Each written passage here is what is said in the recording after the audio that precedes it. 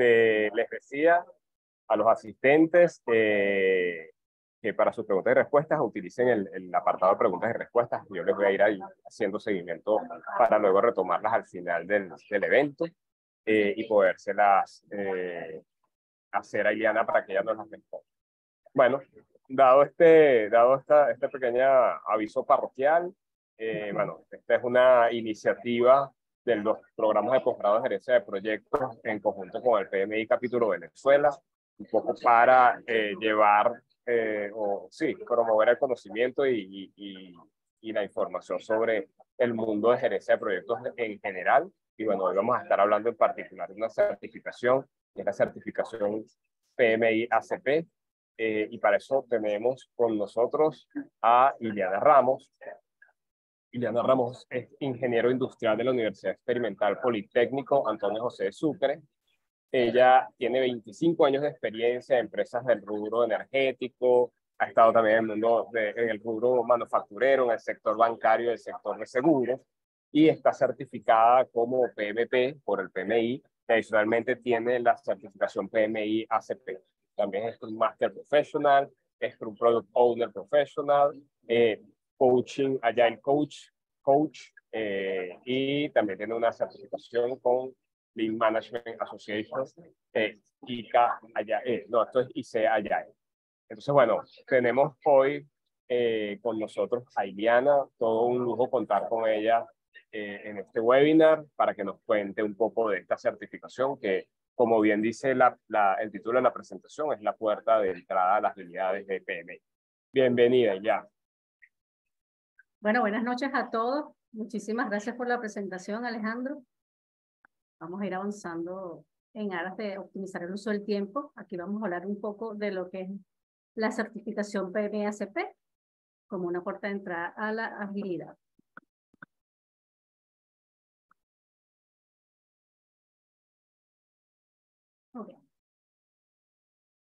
Bueno, ya Alejandro tuvo el placer de, el honor de, de presentarme.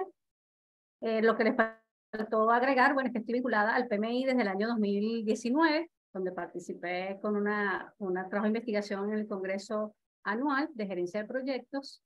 Eh, también estoy vinculada al PMI Capítulo Panamá, donde he participado en los grupos de estudios para las certificaciones PMP y certificaciones PMI-ACP. Actualmente estoy trabajando con el capítulo de República Dominicana, también para participar como mentor en los grupos de estudio de las mismas certificaciones.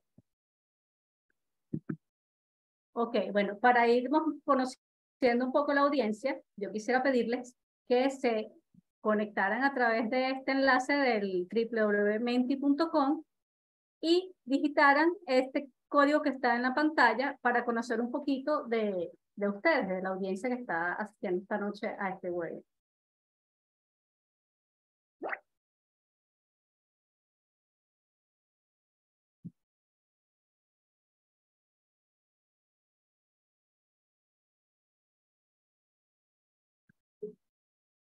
Voy a compartir un momento el Menti.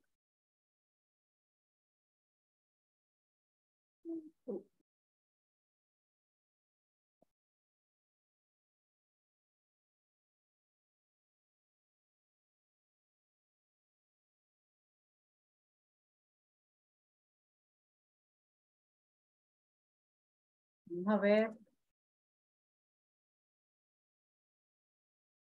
Me avisan si pudieron entrar al enlace.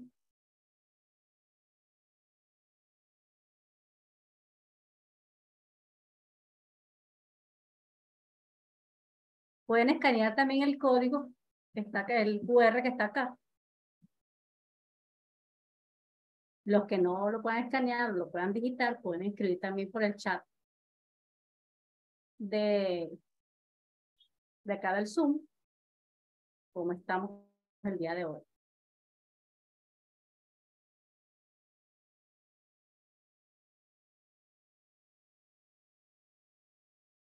Veamos. Somos 14, nada más se han expresado dos personas. Lo pueden poner por el chat, como les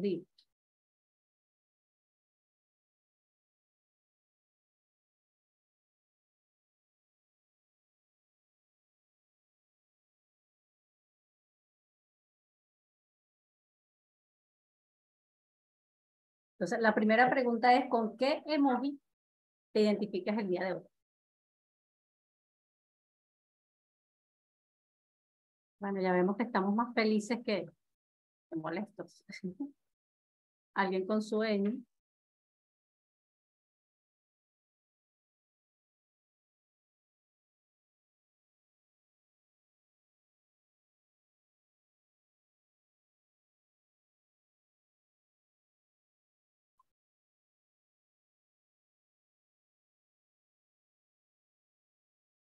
Bueno.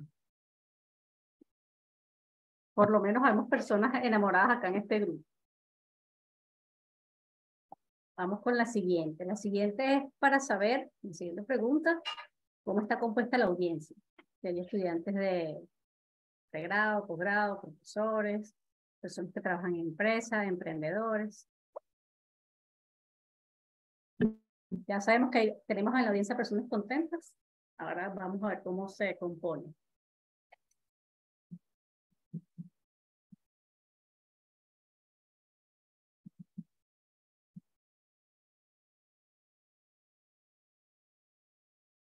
Pueden escanear el código QR que está acá a la izquierda o digitar este código en, en Menti, www.menti.com. Bueno, la mayoría de la audiencia trabaja en empresas, 20% son emprendedores y estudiantes de posgrado.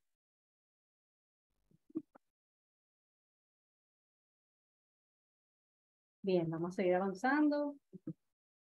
La siguiente es, ¿qué es para ti la agilidad? Coloquen allí lo que, lo que primero les venga a la cabeza de qué es, qué es la agilidad para ustedes. ¿Cómo la conciben? ¿Cómo la ven?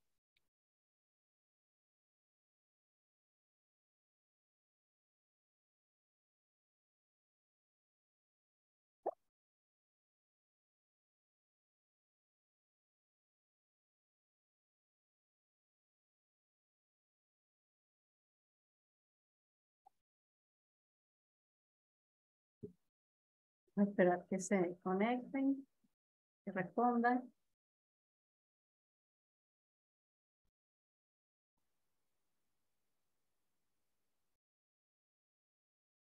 Lo pueden escribir por el chat. No sé, Alejandro, si hay respuestas por el chat.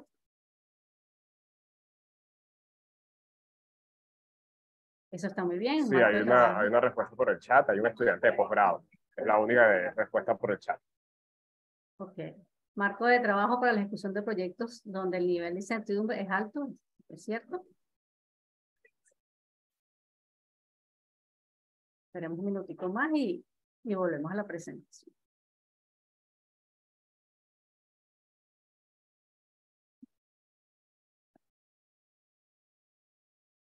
¿Qué te dicen por el chat? ¿Qué, tienen, qué concepto tienen de agilidad? Sobre esta pregunta no hay respuestas en el chat. Ok, bueno, vamos entonces a continuar. Entonces, esta, esta respuesta que tenemos acá es muy cercana a la, a la correcta. Ahora vamos a compartir nuevamente la presentación. Bueno.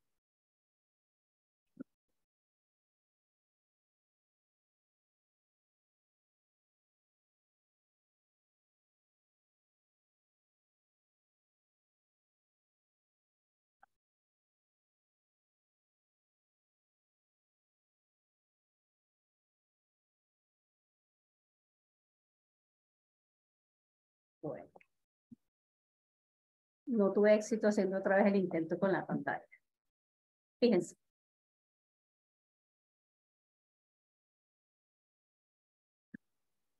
La agenda de lo que vamos a estar revisando eh, en este espacio está, constituida de los siguientes puntos. Primero vamos a hablar un poquito de introducción de dirección ágil, las certificaciones ágiles del PMI, del Discipline Agile, que es la certificación PMI-ACP, los beneficios de esta certificación, qué cosas o qué requerimientos se necesitan para obtener dicha certificación, preguntas frecuentes que hace la audiencia cuando está, digamos, interesada en certificarse y el contenido, más o menos lo que tiene el examen de certificación. Ok, vamos a hablar entonces un poco de la introducción a Ágil.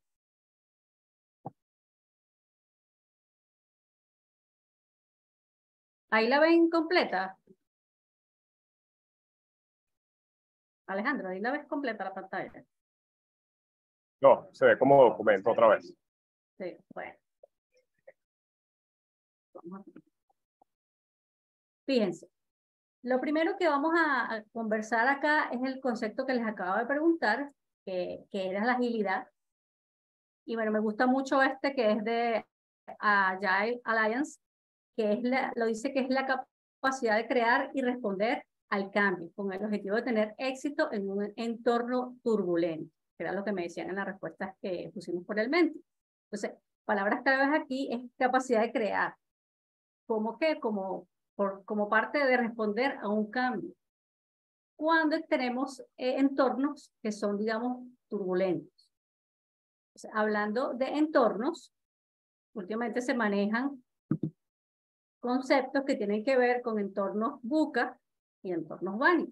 Los entornos buca son aquellos entornos donde hay alta volatilidad, mucha, mucho grado de incertidumbre, complejidad y ambigüedad. Cuando hablamos del entorno BANI, son entornos frágiles, ansiosos, no lineales, o sea, que no van de, de un paso a otro en forma recta, e incomprensibles. Cuando existen este tipo de entornos, es que comenzamos a navegar, en, en a, a ser ágiles, a trabajar con la agilidad. Vamos a detallar un poquito más eso. Ok.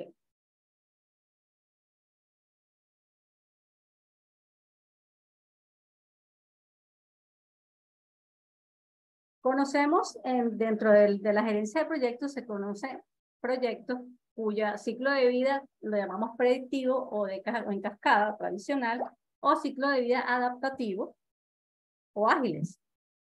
¿Cuál es la diferencia? El ciclo de vida predictivo está conformado por etapas.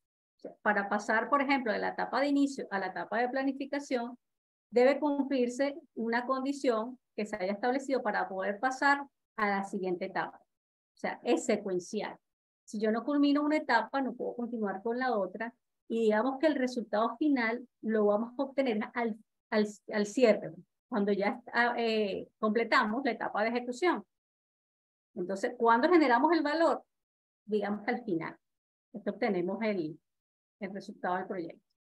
En los proyectos que son con ciclo de vida adaptativos, que es el tema que, no, que nos compete esta noche de hoy, digamos que el proyecto se subdivide en proyectos eh, en iteraciones con tiempo fijo, lo que llamamos time box. Cada iteración es gestionada como un mini proyecto. Entonces, antes de comenzar cada iteración, se planifica el alcance y al final de esa iteración vamos a tener un valor que, que entregar al cliente. Entonces, estos incrementos parciales son productos mínimos viables que podemos ya dar a nuestros clientes. ¿qué, es lo que nos, qué, es lo que son los ciclos de vida adaptativos? Precisamente, son proyectos donde tenemos ese alto grado de incertidumbre, de volatilidad, estamos en esos entornos donde hay muchos cambios en el mercado. Entonces, no podemos darnos el lujo de esperar a pasar todas las etapas de los proyectos predictivos para obtener el, el resultado, porque puede ser que por la alta volatilidad o la cantidad de, de, cambios en el entorno, cuando tú lo vayas a mostrar al mercado ya es obsoleto o ya este, las preferencias del, mercado han cambiado. Entonces, eh, digamos que cuando hay este tipo de entornos, trabajamos con los proyectos ágiles. Entonces, vamos desarrollando lo que son iteraciones que están metidas dentro de un time box y al final de esa iteración ya generamos valor. ¿Sí? Me parece muy interesante mostrarles estas gráficas que nos ayudan a saber en qué momento nosotros vamos a tomar, este, vamos a utilizar un enfoque, bien sea predictivo o un enfoque que sea adaptativo, ¿no? Para eso podemos ayudarnos con el modelo de complejidad de Stencil. Este modelo está, nos tiene dos variables. En el eje de horizontal tenemos la incertidumbre y en el eje vertical tenemos la incertidumbre en los requerimientos. Los requerimientos son las características, las funcionalidades que queremos para nuestro, en nuestro proyecto, queremos desarrollar nuestro proyecto.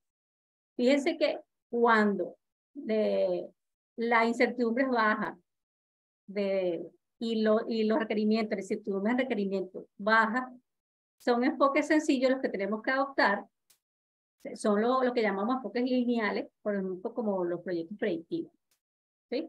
A medida que vamos teniendo mayor grado técnico de incertidumbre y mayor incertidumbre en los requerimientos de lo que queremos hacer, nos vamos alejando a, los escenarios complicados, complejos. Entonces, es allí donde funcionan los enfoques adaptativos. Si llegamos al caos, es altamente riesgoso. ¿no? ¿Qué es lo que quiero decir con esto? Que muchas veces se adopta un eh, enfoque de ciclo de vida adaptativo porque queremos mayor rapidez para salir al mercado. O sea, no, en ese caso no, no tiene que ver exactamente con, con esa variable para tomar la decisión. La decisión no la dicta la pauta, la complejidad o la incertidumbre de los requisitos, lo que queremos hacer, lo que queremos construir, que no tenemos claridad en lo que vamos a hacer, digamos, con el grado técnico de incertidumbre, que es otra, otra de las variables importantes. Entonces, a la hora de nosotros decidir qué proyecto, qué enfoque de ciclo vamos a utilizar, les recomiendo usar este modelo de complejidad Excel. El otro punto es qué sucede con los costos y el tiempo cuando son proyectos predictivos o en cascada y los proyectos que son adaptativos o ágiles. Fíjense, con un proyecto predictivo tenemos un alcance definido. Sabemos exactamente lo que queremos hacer. Tenemos claridad en los requerimientos.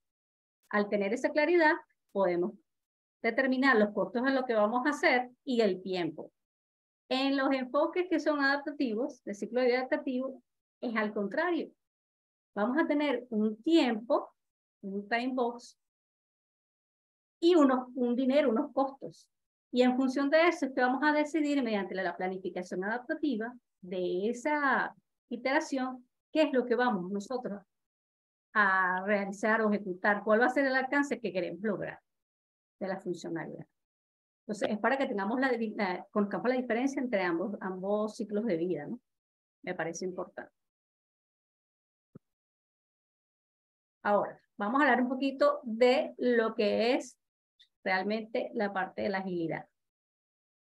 Fíjense, como primera cosa que tenemos que aprender entender es que ágil no es una metodología es un enfoque, es una manera de pensar, es, ser disruptivos en el pensamiento. Fíjense, tenemos mindset como ser, valores y principios. Y tenemos el hacer. Entonces, estos dos, digamos, componentes, el ser y el hacer, tienen que hacer match perfecto cuando nosotros queremos desarrollar proyectos ágiles. Fíjense, el ser es que primero yo tengo que entender qué es ser ágil. Tengo que pensar de manera, tengo que quitarme los paradigmas que tengo de los proyectos que son en cascada, que son predictivos, y cambiar mi forma de pensar para ver los proyectos desde el enfoque ágil. Y cuáles son, y tener los claros los valores y principios para poderlo internalizar y en función de ese, esa mentalidad ágil o ese ser, poder determinar qué framework o metodologías y herramientas y técnicas yo necesito usar para el hacer, para materializar eso que yo quiero generar, ese valor que yo quiero agregar. Entonces, en función de esto, hace unos años se reunieron este, en Estados Unidos, en Utah, este, personas del área tecnológica, creadores de, de sistemas y de software, y se desarrolló lo que se llama el manifiesto ágil. Entonces, el manifiesto ágil tiene cuatro principios y tiene valores, bajo, los cuales, digamos, se, se rige esta manera de pensar. Entonces, estos son básicamente la planificación gradual, la entrega iterativa e incremental, la respuesta al cambio flexible y rápida, comunicación abierta entre los equipos, interesados y clientes. O sea, como pueden ver, primero planificamos gradualmente. ¿Por qué? Porque planificamos en cada iteración. No es como la, el típico predictivo que ven, hace la predictivación de todos los productos final. No, aquí vamos. ¿Por qué? Pues necesitamos saber si el entorno ha cambiado, si hay altos riesgos, cómo se impacta a las funcionalidades que queremos desarrollar y, y dependiendo de eso, nosotros planificamos la iteración en ese tiempo que llamamos time box. Eh, también tenemos involucrado siempre comunicación directa con los clientes y entre el mismo equipo de, de agilidad, ¿no? Algunos ejemplos de metodologías ágiles son el Scrum, que es el más conocido, el Kanban, el XP, PDD y el Lean. Ok.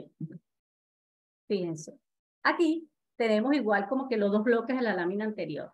En el lado izquierdo tenemos el manifiesto ágil y en el lado derecho tenemos esas frameworks, metodologías, herramientas y técnicas de las que le hablé anteriormente. Entonces, como les comentaba, el manifiesto ágil fue desarrollado en el año 2001 en Utah, donde un grupo de personas que trabajaban con tecnología y desarrollando, digamos, programas, se dieron cuenta de que la obsolescencia era muy rápida, los cambios en el mercado, en el entorno eran muy el, rápidos y elevados. Entonces decidieron crear el manifiesto ágil. El manifiesto ágil no es que, fíjense, valoramos lo que está escrito en el lado derecho, pero nos vamos más con el lado izquierdo.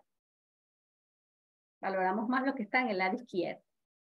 Fíjense, por ejemplo, individuos, interacciones sobre procesos y herramientas. Entonces, aquí le damos más valor a las interacciones entre las personas del equipo y el cliente. Aunque para sigue siendo importante los procesos y las herramientas que se utilizan. El software funcionando, que es el segundo valor, sobre documentación extensiva, es decir, damos prioridad a que el software salga a funcionar lo antes posible, antes de que ponernos a escribir toda la documentación para la entrega del software. El tercero es colaboración con el cliente sobre negociación contractual. Aquí igual, como les digo, manteniendo siempre el contacto con el cliente por encima, esperar que se firme un contrato. O sea, hay contratos que son también para agilidad, que tienen una manera de medirse y de llevarse a cabo mucho más digamos, más ágiles que los contratos tradicionales. ¿no? El cuarto es la respuesta ante el cambio sobre seguir un plan. Este es para mí uno de los más importantes porque estamos pendientes siempre de lo que nos dice el entorno, de los cambios que se ocurren antes que seguir el plan. ¿Por qué? Porque si nos ponemos a seguir el plan y hay un cambio en, en el entorno, de nada nos sigue consejo que ya no nos funciona. Quería repasar un poco estos conceptos de ágil que imagino que la mayoría de la audiencia lo, conoce, pero quería repasarlos. Entonces, fíjense, hacer agilidad, para hacer agilidad, primero hay que pensarla, pasarla por el cuerpo. Es lo que yo les decía antes. O sea, primero tenemos que entender el mindset, de qué trata, cuáles son los principios, cuáles son los valores, para yo poder luego decidir cómo yo voy a materializar eso a través de los frameworks y las herramientas. Ahora bien, ¿qué beneficios trae hacer esas prácticas ágiles? Primero, mayor retorno de inversión, o sea, retorno de inversión temprano y medible. ¿Por qué? Porque nosotros estamos generando valor desde la primera iteración. Eso nos permite salir al mercado, mejorar el time to market, y el retorno de la inversión es mucho más temprano, digamos. Alta visibilidad del progreso del proyecto. ¿Por qué? porque nos permite identificar y resolver problemas de forma temprana, ya que todo el equipo está enterado del desarrollo del, del proyecto. Participación continua del cliente, porque siempre estamos trabajando con él haciendo las revisiones, cuando hacemos las revisiones en las iteraciones, y nos retroalimentamos con ellos. Mayor autonomía para que el responsable del negocio tome las decisiones necesarias para alcanzar las metas. Adaptación a las necesidades cambiantes del negocio. Esto es importantísimo. ¿Por qué? Porque a medida, si, algo cambia en el entorno, rápidamente nosotros incluimos los cambios. Podemos hacer cambios en los requerimientos para que desarrollemos lo que debemos desarrollar. Y hay menos derroche de producto y de proceso. ¿Por qué? Porque tempranamente tenemos retroalimentación, feedback del cliente y del mismo equipo para poder tomar los correctivos o sea, hay menos de menos experiencia en horas de cosas que no, que no nos funcionan.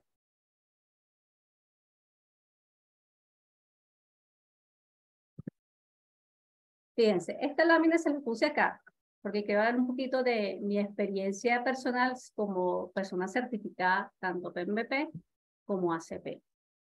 Para mí, el, yo participé en el Congreso en 2018 de gerencia de proyectos del PMI. Solamente fui una participante. Ahí fue donde yo me entusiasmé y decidí, mira, involucrarme más con el PMI, porque a veces nosotros hacemos los proyectos y en realidad no sabemos las mejores prácticas si los estamos haciendo correctamente, porque todos hemos llegado de repente a hacer proyectos por casualidad, porque en nuestro trabajo nos, nos recomendaron hacer un proyecto y nosotros empezamos a hacerlo sin tener de repente la mínima idea de lo que tenía, de cómo se gestionaba un proyecto. Entonces, yo decidí vincularme ya este formalmente para conocer esas mejores prácticas. Entonces, ya en el año 2019, como les comenté anteriormente, ya pude participar en con un trabajo de investigación, conocí muchas personas, eso te mejora el, networking. Ya para el año, para el 2019 se hizo el Project Open Day en Ciudad Banesco. Allí fue donde yo conocí al que luego fue mi jefe. Logré entrar a Banesco en el año 2021. Sí. Eh, una, una premonición, diría yo, pero me sirvió por todas las relaciones que hice durante estos eventos, todo lo que aprendí y ya yo en el año 2020 me certifiqué como PMP, me dio muchas luces en cuanto a lo que eran los proyectos predictivos más que todo, porque ya cuando yo presenté todavía el tiempo, que era la sexta edición, eh, hablaba más de los, hablaba de puros proyectos predictivos. Para el año 2021, digo, voy a hacer el de ACP, porque ACP es lo que más me acerca a la agilidad. Eh, me, va a enseñar conceptos de agilidad que a lo mejor yo creo que conozco y que estoy en lo, en lo correcto, y puede ser que no. Ya yo había trabajado con, en unos proyectos que eran con agilidad, y bueno, uno va ahí avanzando a medida que va leyendo, se va documentando por aquí y por allá.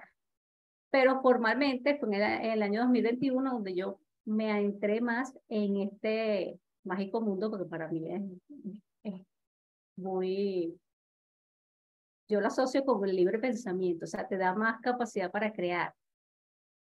Tienes como que las herramientas para discernir y crear, ¿no? Entonces, como siempre lo, lo digo, las cosas buenas suceden cuando te involucras con el camino. Ok, ahora vamos a hablar de las certificaciones ágiles y del disciplina Agile, del PMI. Ok, fíjense, este, el disciplina Agile este, es más allá que un enfoque, como le decía, porque la verdadera agilidad viene de la libertad, no de los marcos de trabajo como tal, pero también a veces se usan como si fuesen camisas de, de fuerza estrictamente como dice el marco de trabajo pero no, es la libertad de combinar cosas de repente. Fíjense que el, el, el PMI nos habla de el way of work, que es el WOW, el famoso WOW, y nos muestra qué es el Discipline Agile. Que el Agile del PMI no es un marco de trabajo, sino un conjunto de herramientas que nos muestra cómo combinar efectivamente estrategias o bien de Scrum, de Kanban, de SAFe y de algunos otros enfoques. Entonces, hay organizaciones que adoptan disciplina Agile y salen antes al mercado, como les decía, mejor su time to market y eh, logran complacer las expectativas de sus clientes. El disciplina Agile tiene, o sea, está conformado por principios, tiene este, siete principios, tiene, ofrece seis ciclos de, de vida de proyectos, ágil, entrega continua ágil, exploratorios, Lean, entrega continua Lean y programas. Y también tiene roles. ¿Sí? En este momento, el PMI está ofreciendo a todas las personas, no necesariamente a los que seamos miembros, un curso gratuito de disciplina Agile. Eso lo pueden buscar, ubicar en la página del PMI. Yo les estoy colocando aquí el, el enlace o la, la ruta, que es www.pmi.org Disciplina Agile Basics. Ese curso es on demand, o sea, lo hacen a su medida, a su tiempo, su ritmo, y allí tienen plantillas tienen toda la información del Disciplinary Agile para que la, la descarguen y la puedan tener y lo usen para sus proyectos. Y les voy a mostrar, aunque no se vea bien la imagen, porque yo confío en que ustedes se van a meter allí en la página del PMI y van a aprovechar ese curso que está gratuito allí de Discipline Agile. Esto es lo que llaman ellos el, en el PMI un diagrama de metas. Fíjense, aunque no se lee bien, la primera parte que está acá al lado izquierdo es desarrollar la forma de trabajar tu wow, tu way of work. Todas las ramificaciones te dan opciones. Por ejemplo, la primera es organizar eh, o se organizar el entorno físico. Tú decides si vas a trabajar en, en cubículos cerrados, si vas a tener oficina cercana, si hay un área abierta para trabajar. La siguiente opción es elegir la, cómo va a ser el estilo de comunicación. Puedes poner documenta, eh, comunicación, documentación ligera, puedes poner eh, videollamadas. Entonces, él te va, digamos, quedando en cada uno de estos rubros, elegir los estilos de colaboración, por ejemplo. Si es trabajo individual o trabajo en pares, seleccionar la siguiente opción, el ciclo de vida, ahí tú lo vas eligiendo. Entonces, esto te permite hacer una, un mapa de tu, de tu mejor forma de trabajar. Entonces, esa es la parte bonita del disciplina Agile, que te da como que esos marcos de referencia para que tú, con tu equipo, porque esto es algo para trabajar en equipo, cuáles son las vías que tú quieres adoptar en cada uno de estos puntos. Entonces, bueno, la invitación es a que se metan allí y lo revisen y aúnen un poquito más en eso. Ok, entonces, ¿cuál es el camino de nosotros acá con el PMI? El PMI ofrece, en este caso, cinco certificaciones. Dos de ellas, tomé acá, el Discipline Agile Scrum Master, el Discipline Agile Senior Scrum Master, tiene Discipline Agile Coach, Discipline Agile Value Stream y el PMI Agile Certified Practitioner, que es el que estamos hablando, el que es objeto de, de discusión en la noche de hoy. Entonces, como verán, tiene una variedad. Yo pienso que hay de las cinco, dos están muy, muy enfocadas al, a, la área de, al marco de trabajo Scrum Master, y digamos que tres están como un poquito más orientadas a, al disciplinaria como tal. Entonces, vamos a hacer foco en la ACP. Otras cosas que les quería comentar, fíjense, hay mucha confusión e, o, digamos, tiende a pensarse que ya ser Scrum Master eh, conoce la agilidad. Y no es así, o sea, el Scrum Master es solamente, digamos, un, un primero un marco de trabajo que está eh, en el paraguas de la agilidad. Es un marco. Así como está Kanban, así como está XP, pero el paraguas de la agilidad es el que ampara todos estos marcos de trabajo. Entonces, el Scrum Master es un rol dentro de un marco de trabajo que es Scrum. Pero el PMI y ACP te da una visión mucho más amplia porque te muestra todos muchos marcos de trabajo y metodologías. O sea, tú vas a aprender de varios marcos de trabajo y metodologías, no de una sola o no de un solo rol dentro de un marco de trabajo. Además que cuando eres Scrum Master, trabajas con un grupo de, digamos, del máximo de 10 personas, porque es lo que se maneja dentro de este marco de trabajo. El ACP te permite liderar o coordinar equipos múltiples. ¿sí? Y eh, también habilita tus capacidades de gestión de control financiero. O sea, no veamos como que Scrum Master es este saber de agilidad. No, el Scrum es un marco de trabajo y el Scrum Master es un rol dentro de ese marco de trabajo.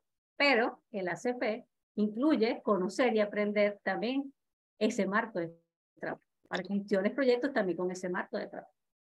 digamos que es mucho más completo. A veces eh, este, para certificarte como Scrum Master no necesitas tener experiencia, sino un conocimiento y presentas un examen para, este, para el PMI-ACP debes tener experiencia ya trabajando en algún eh, proyecto de agilidad o haber tenido algún rol dentro de un proyecto de agilidad, más presentar ese examen, validar este, tus conocimientos también, tanto teóricos como aplicados a casos de, de la vida real. Bien, entonces, ¿qué es la certificación PMSP? Bueno, un poco más de lo que yo les hablado. Para el profesional de gestión de proyectos es un, un desafío para, ¿por qué? Porque es que tenemos ese equipo distribuido por el mundo, los requerimientos cambian, ya los proyectos no son siempre predictivos, ya los mercados hoy en día, yo digo que desde la pandemia para acá, o digamos un poco antes, el mundo como que la vida era como que un poco más, todo era como más lineal, ¿no? Después de la pandemia, los grados de incertidumbre se elevaron, aprendimos a navegar esa, eso, ese ambiente, ese entorno busca, donde había mucha volatilidad, donde había un grado de incertidumbre elevadísimo. De hecho, muchas empresas eh, no, no soñaban con trabajar con teletrabajo. Y hoy en día hay empresas que aprendieron a trabajar teletrabajo y lo incluyeron dentro de su jornada laboral, trabajo presencial y teletrabajo. Esta certificación del PMI te va a acreditar como persona para trabajar en, en proyectos ágiles. Vas a tener conocimientos de tanto de prácticas como los principios de ágil. Vas a conocer varias metodologías. Te va a ser muy integral en el tema de la agilidad. Como les decía antes, o sea, eh, te va a brindar un alto nivel de credibilidad para dirigir proyectos que son ágiles. Es una certificación global, válida a nivel mundial, como, como PMP. Y esta certificación es una de las que se ha incrementado en cantidad de personas certificadas luego del PMP. Eso, eso lo, lo, lo, veíamos hace poco con unas evaluaciones que hizo el PMI. Entonces, ¿qué, ¿qué, les quiero dejar como mensaje con esto? Que el, la certificación de PMI-SP nos va a hacer unos profesionales muchísimo más capaces, muchísimo más, digamos, capacitados para poder liderar proyectos tanto bien sea predictivos como ágiles. ¿Sí? Los beneficios de la certificación, se los he adelantado un poquito, es una de las más confiables porque está basada en el examen más la acreditación de experiencia ya habiendo trabajado con equipos. Entonces, ¿qué es lo que va a mostrar? Va a demostrar a nuestros empleadores el nivel de profesionalismo en principios y prácticas y herramientas ágiles y va a aumentar nuestra versatilidad como profesionales para poder trabajar en otro tipo de proyectos. Lo otro muy importante, hablar de los requerimientos que necesitamos para la certificación PMI-ACP. Fíjense, debemos tener un título de nivel secundario o universitario, acreditar 2.000 horas o 12 meses en proyectos, pero en general, ¿sí? En los últimos cinco años debemos acreditar también ocho meses o 1.500 horas en proyectos con metodología ágil, usando, digamos, siendo parte de un equipo que trabaja en un proyecto ágil, desempeñando un rol dentro del proyecto, y eso debe ser, debe haber sucedido en los últimos tres años, esa experiencia. Y, eh, digamos, tener una capacitación formal en prácticas ágil de 21 horas de contar. Entonces, como ven, estar titulados con un título universitario, tener experiencia de 12 meses en proyectos en general, que no son los mismos que los ágiles, debemos tener eh, 1.500 horas o 8 meses en proyectos de agilidad y estas 21 horas de, de contacto teórico en prácticas ágiles. Ok, ¿cómo es el proceso de certificación? Primero hay una revisión formal de la formación y la experiencia. O sea, requiere una combinación de formación y experiencia en prácticas ágiles para certificación, como les había comentado antes. Luego viene la evaluación de competencia, que requiere que el candidato aplique los conceptos y la experiencia de ágil en posibles situaciones prácticas mediante una serie de preguntas basadas en escenarios. O sea, el examen, la evaluación que se hace, eh, te muestra situaciones donde tú como practicante de agilidad debes escoger la mejor opción o qué harías en esa situación. Así se plantea el examen. Y la evaluación de competencia, que es una vez que estás certificado, tienes que, eh, digamos, eh, bien sea acumular formación profesional en proyectos de agilidad o en agilidad. Es lo que llamamos en los PDUs, que son como, digamos, unas unidades de crédito que debemos ir acumulando para poder renovar nuestra certificación. Entonces, el proceso como es, primero evaluar tu formación, tu experiencia, luego si eres elegible, puedes hacer el examen donde te van a poner, presentar situaciones y tú tienes, debes elegir la mejor opción y cuando está certificado, el mantenimiento de la certificación, que es acreditando formación o desarrollo profesional continuo dentro del área.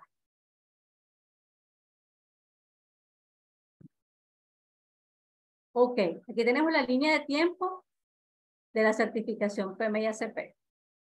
Fíjense, lo primero que vamos a hacer, vamos a ver el programa que está del lado derecho. Primero vamos a solicitar, a presentar una solicitud ante el PMI. ¿Qué debe llevar nuestra solicitud? Y ahí les pido que veamos al lado izquierdo.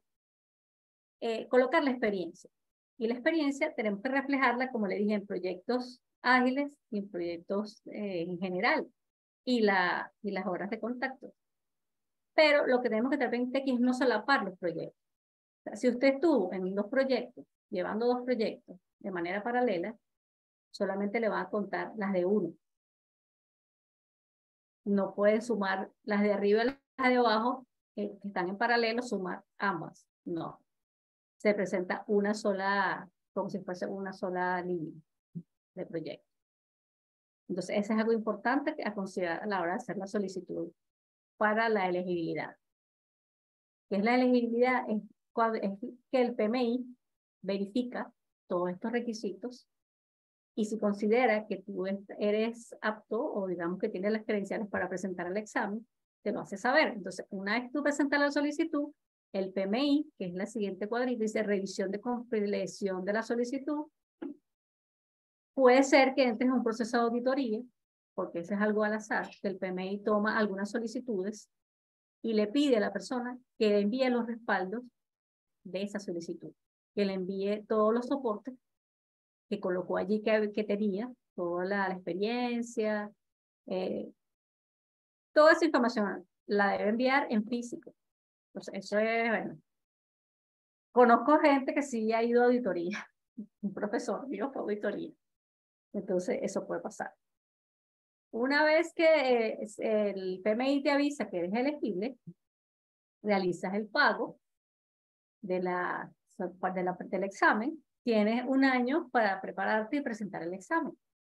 Luego que te certificas, debes mantener la certificación, la EAT va a durar tres años. Durante estos tres años, tienes que acreditar 30 PDU, que le decían que son, digamos, 30 horas de contacto de, de mejoramiento profesional en el área ágil, para mantener esa certificación. A los tres años, habiendo tú cumplido con estos 30 PDU, viene la renovación de la certificación. Si llega ese momento y tú no renuevas, no has cumplido con esa cantidad de PDU, tienes un año para ponerte al día, ¿sí? Y si llega ese año adicional no, de suspensión y no te pusiste al día, ahí sí se vence la certificación y, y la pierdes. Tienes que, tendrías que volver a presentar el examen si la quieres obtener nuevamente. Pero eso es muy sencillo acumular los PDU, porque cuando a uno le gusta algo, siempre lo está practicando y lo va reportando. ¿Cómo tomar el examen? También es importante. Fíjense, hay dos modalidades. Es la, una prueba supervisada en línea y hay una prueba online eh, que la puedes hacer desde tu casa. La supervisada en línea es en los centros acreditados por el PMI para presentar el examen. ¿Sí? Yo presenté el examen, o sea, yo estudié cuando estábamos en pandemia, eh, cuando yo presenté, por ejemplo, el PMP. Y resulta que en Venezuela el internet es muy malo. Yo estaba preocupada porque decía, me toca, si lo presento en línea y se me cae el internet, el proctor te pierde, el proctor es la persona que te está vigilando en el examen y perdiste el examen. Así de sencillo. Perdiste el dinero. Si yo prefería presentar en un centro, porque de esta manera tú le estás trasladando al centro ese riesgo de que se le vaya el internet. Si eso llega a pasar en un centro, eh, puedes volver a presentar tu examen porque no es causa tuya, sino el centro. Yo hice mi examen en Servicios Educativos Soft Train, eso queda en la Torre EXA. ¿Dónde yo busqué esta información? Cuando yo voy a presentar el examen, me meto en Person View, en la misma página del PMI, me registro, y ahí es donde yo decido bajo qué modalidad voy a presentar el examen, si es, presencial o si es en línea. La ventaja del, examen en línea es que tienes 24 horas al día, 7 días a la semana para presentar. Lo complejo es que tienes un proctor que te habla en inglés. Ahí nadie te habla en español. Y además que te habla en inglés, en inglés indio, de hindú. hindú. Te cuesta entender, es delicadísimo porque no puedes tener libros alrededor, no puedes estar volteando para los lados, o sea, casi que tienes que estar como un robot eh, dentro del equipo. el registro, cuando tú vas a presentar el examen en un centro, tú llevas tu cédula llevas el pasaporte te validan tu, tu identidad y ya puedes pasar al, al examen. Igual te, hay una persona vigilándote por cámaras, pero si necesitas algo, tú levantas la mano y porque sucede algo y, la persona te ayuda, el, supervisor del centro. Aquí en línea eh, es, es, complejo, a veces la, la identificación no, es difícil de validar, no sé. Para mí, en lo personal, yo prefiero hacerlo en un centro, ¿sí? ya es elección de cada quien. Entonces hay que meterse en Person View cuando vas a solicitar el examen para seleccionar el tipo, la modalidad de examen. Preguntas frecuentes, bueno, voy a acelerar un poquito porque se me está acabando el tiempo. Eh, ¿Cuántas preguntas son? 120 para responder en 90 minutos. De estas 120, hay 20 que son las pruebas que hace el PMI eh, de preguntas que ellos tienen como que en ensayo. Entonces, de estas 120 realmente son 100 las válidas aunque tienes que responderla todas, deberías para que tengas mayor opción, porque no vas a saber cuáles son las 20 que están en prueba. Tienes 90 minutos para presentar. El examen, si eres miembro, te cuesta 435 dólares. Si no eres miembro, te cuesta casi 500 dólares. Para programar el examen, como les dije, hay que meterse en la opción de Person View dentro de la página del PMI. Eh, ¿Hay algo que debo hacer antes de presentar mi examen en línea? Sí, debo preparar eh, hacer las pruebas que tiene la página de Person View, donde te pruebas la cámara, pruebas la velocidad del equipo. Igual, como les digo, cuando se metan a Person View van a tener todas esas, les va a salir todas esas indicaciones. Eh, otras preguntas ah, para hacerlo un poquito más rápido. Si yo tenía programado el examen este, para hacerlo de manera presencial, pero me quiero cambiar en línea, yo me meto en Person View con anticipación y lo puedo cambiar. Viceversa, si yo tengo el examen programado en línea y lo quiero hacer presencial porque quiero trasladar el riesgo de que se me vaya la luz, que se me caiga el internet al centro, igual yo lo cambio dentro de la página del, del PMI, la, en Person View, elijo el centro, ahí tienen que buscar cuáles son los que están habilitados en su ciudad, en Caracas. De los, yo conozco es el donde yo presenté los dos exámenes, presenté el de PMP y el de ACP en ese mismo centro muy bueno, queda en el Rosario. No, no estoy haciendo publicidad, sino que las, las experiencias buenas hay que repetirlas. ¿no? El esquema del contenido del examen. Bueno, el examen está compuesto por siete dominios, como lo pueden ver acá en el cuadro del lado izquierdo. Mentalidad y principios de ágil, entrega orientada al valor, involucramiento de los interesados, desempeño del equipo, Ahí ven el peso o la cantidad de preguntas que van a estar orientadas a cada uno de esos dominios, el porcentaje de preguntas que, puede, que, que van a tener esa, esa, digamos, evaluar o evaluar esa, ese dominio. Del lado derecho, cuando les muestro que tiene más o menos cada uno de los dominios, eso lo consiguen en el, en el exam content aula. Eso también está en la página del PMI. Sea, no necesitas ser miembro para poder ver toda esta información. Te, te vas a las certificaciones de agilidad y ahí ves todos los links para descargar toda esta información. El Exam Content Outline te habla de cuáles son estas áreas de, digamos, de evaluación. Ahí también vas a tener los, los folletos de que te hablan de, de la información que ya te indiqué, del costo, la cantidad de preguntas, todo eso. Fíjense, yo, como material de estudio, en lo personal, yo bajé, utilicé la guía práctica del PMI de agilidad, Agile Practice Guide. Esa fue uno de mis, digamos, materiales guía. Trabajé o estudié con el libro de Pablo Lledó, es el azulito que ven ahí. ¿Por qué? Porque primero era uno de los más económicos y estaba en español. Yo presenté mi examen en español, yo llené mi solicitud de examen en español. Hay quienes llenan la solicitud en inglés, presentan el examen en español. Aunque el examen tiene una opción para, si, estás presentando en inglés, en la misma pregunta te aparece la opción para si la quieres leer en español. Entonces también tienes esa ayuda por ahí. Este otro libro que hasta aquí, que está en verde y negro, está todo en inglés. Yo no lo utilicé porque yo no hablo inglés, está todo en inglés como simuladores, este, cada uno, piense, este libro de Pablo Lledó al final tiene una pregunta. Al final de cada dominio. Entonces yo practiqué con esas preguntas. Hay unos simuladores que tiene Udemy. A mí me, me ofreció, me prestó su simulador uno de mis profesores, que se llama Germán Martínez, pero lo vende. Y también Pablo Lledó tiene su simulador para que puedan practicar las preguntas, ¿no? Entonces, bueno, digamos que esto ha sido lo que yo les traje para la noche de hoy. Vamos, nos vamos a pasar un poquito para ver si tienen preguntas. Ahí Alejandro, voy a dejar de compartir. Sí, bueno, Iliana, muchísimas gracias por, por la presentación y por aclararnos el panorama para, para la certificación PMI ACP, que es una de las certificaciones que son más interesantes tal vez o, mejor dicho, despiertan mayor interés o han despertado mayor interés en los últimos tiempos en la comunidad. de, de las mejor vistas en el tema de agilidad. Sí. acá tenemos varias preguntas, vamos a ir avanzando porque eh, que el tiempo apremia. Fíjate, vamos a estar, la primera pregunta la hace Marcel Castro. Marcel nos pregunta cómo distinguir las funciones de un project manager desde el contexto del PMI versus las responsabilidades que puede tener un product owner o un Scrum Master, según lo indicado en la guía oficial de Scrum. Bueno, era lo que les comentaba, o sea, digamos que el, eso es un rol dentro de un marco de trabajo. O sea, un Product Owner, un Scrum Master, son roles dentro del marco de trabajo Scrum.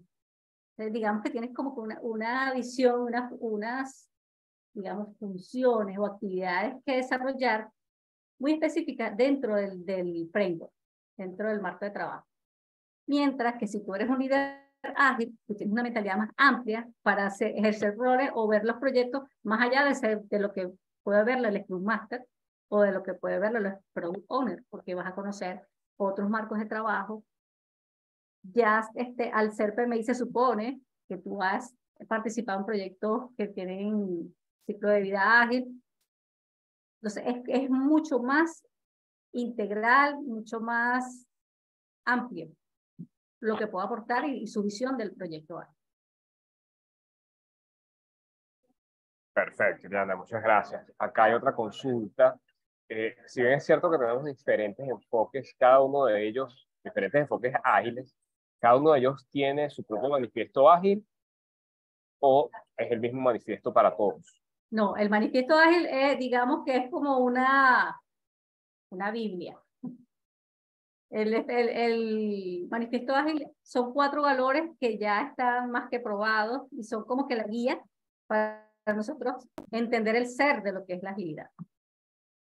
No es que hay, digamos, un manifiesto ágil para cada framework, no. Disciplina ya y te da, tiene, digamos, sus siete valores, pero no, o sea, el manifiesto ágil como que digamos el papá de todos ellos. Vale. Acá eh, Manuel, Manuel Márquez nos preguntaba sobre los libros y guías que se pueden utilizar para estudiar. Creo que, que con la última lámina respondemos esa pregunta.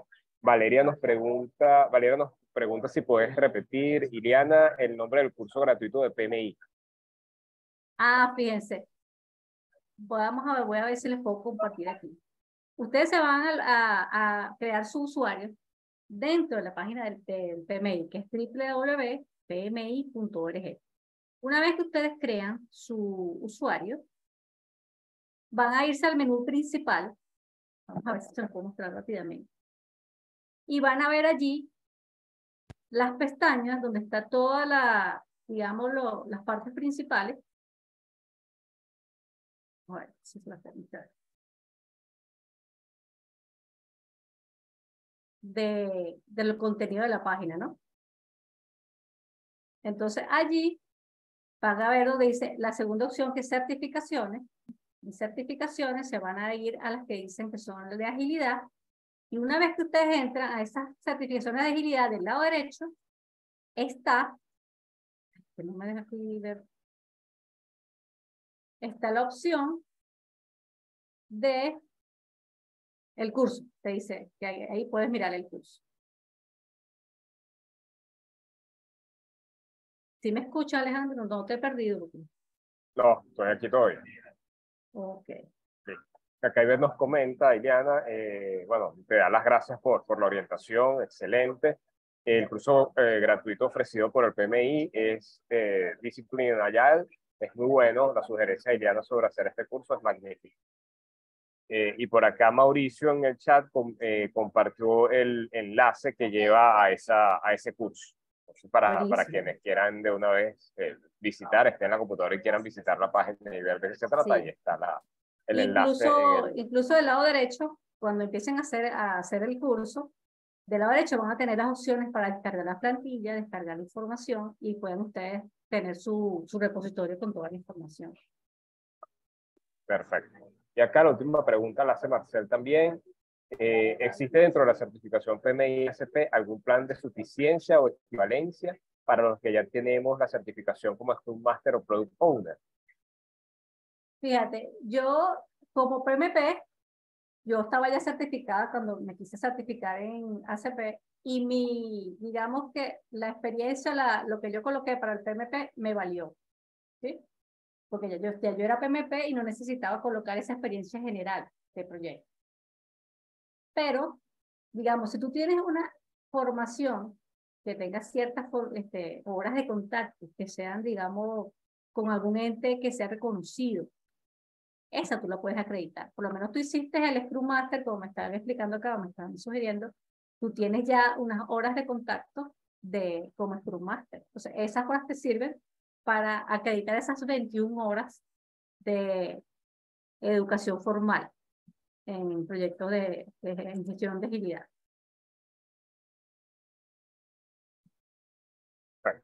Y bueno, una última pregunta por acá, que, es más una pregunta seguramente hacia el posgrado, que la hace Guillermo.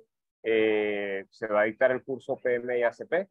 Eh, Guillermo, estamos todavía estudiando cuáles son los, las ofertas que, que, vamos a llevar, no desde, desde, la universidad, no desde el programa de posgrado, pero el programa de posgrado está bastante claro desde el punto de vista de los productos que, que ofrecen. Sí, bueno, sí. Ahí, bueno, yo estaré en contacto con Alejandro porque en el pasado el capítulo Venezuela, en mi capítulo Venezuela, se ha unido a otros grupos de estudio como el, que se, como el de Panamá para que participen también. Yo me comprometo en estar pendiente con Alejandro cuando esos grupos de trabajo y grupos de estudio se den para que les transmita la información y tengan la oportunidad de, de hacer de hacerlo el estudio. Mire, lo mejor que a mí me pudo pasar fue participar en esos grupos de estudio. ¿Por qué? Porque primero, cada uno de los módulos te lo explicaba alguien con mucha experiencia. Tenías la opinión de tus compañeros. Yo al final inclusive hice un grupo más pequeño con otras personas donde debatíamos los, los, los temas, los ejercicios que hacíamos, los exámenes de prueba que hacíamos.